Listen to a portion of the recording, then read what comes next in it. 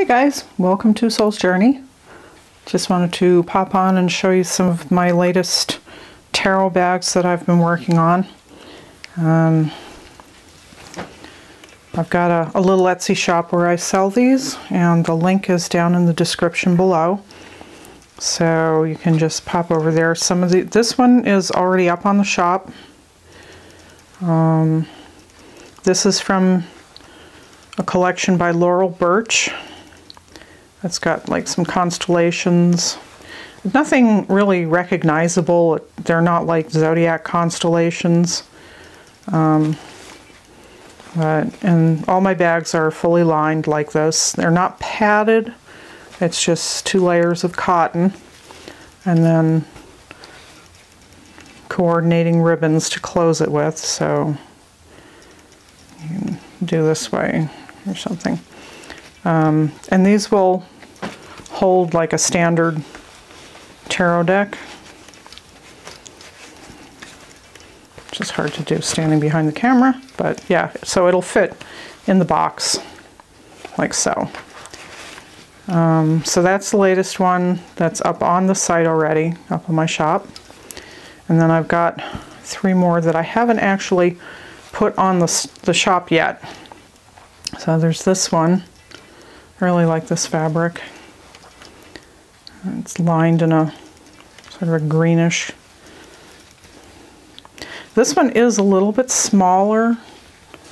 Um, it will fit, but I think it'll fit better without the box. So that one's just like a hair smaller. I'm not sure. Yeah, so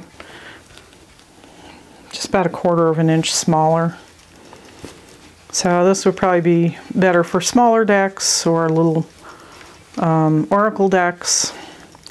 And I'll try to get that one photographed and up on the, the shop later. And then these two I just finished yesterday. So this is like uh, sunrise, like over the ocean or something. Clouds and the, the birds. No matter which way I do it, the birds are going to be upside down, either looking at it this way or the other way, so had to pick one. Uh, so this is lined in kind of a, it's, it's I would call it a periwinkle blue. Um, it's real pretty.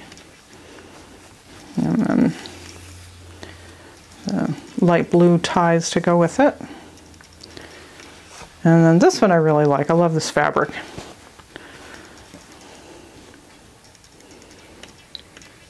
Got the two bunnies, just like some wildflowers, and then this is lined in kind of a, a creamy uh, with white ferns and greenery sort of pattern.